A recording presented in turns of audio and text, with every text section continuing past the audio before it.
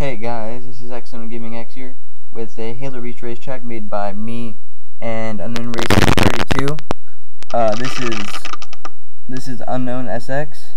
Um, this is the first Supercross track we've made in Halo 4. Um, we haven't started on another one yet, but I am gonna I want to make one with Treminer J Dog.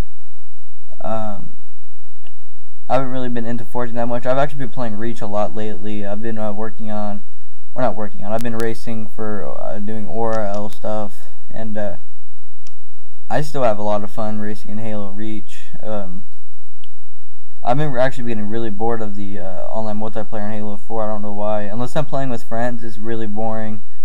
And the only time I ever uh, get like, the er, only time I have a big group of friends is we're using in custom games, and nobody wants to play matchmaking. But um, whatever.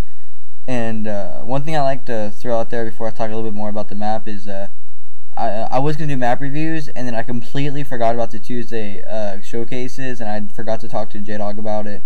Uh, I should have talked to him before I made a video saying we're doing map reviews.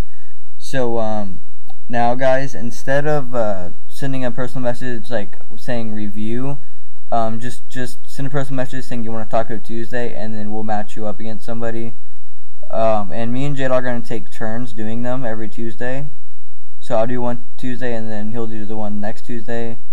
Um, but it'll be uh, it'll be cool. Uh, Taco Tuesday is it's fun. We just ran out of maps in Halo, or we ran out of people in Halo 4 or in Halo Reach.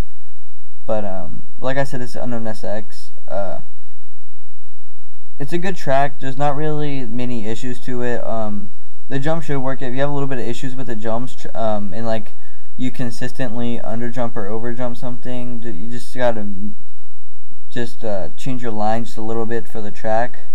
But everything should work good for you. Um, but thank you guys for watching.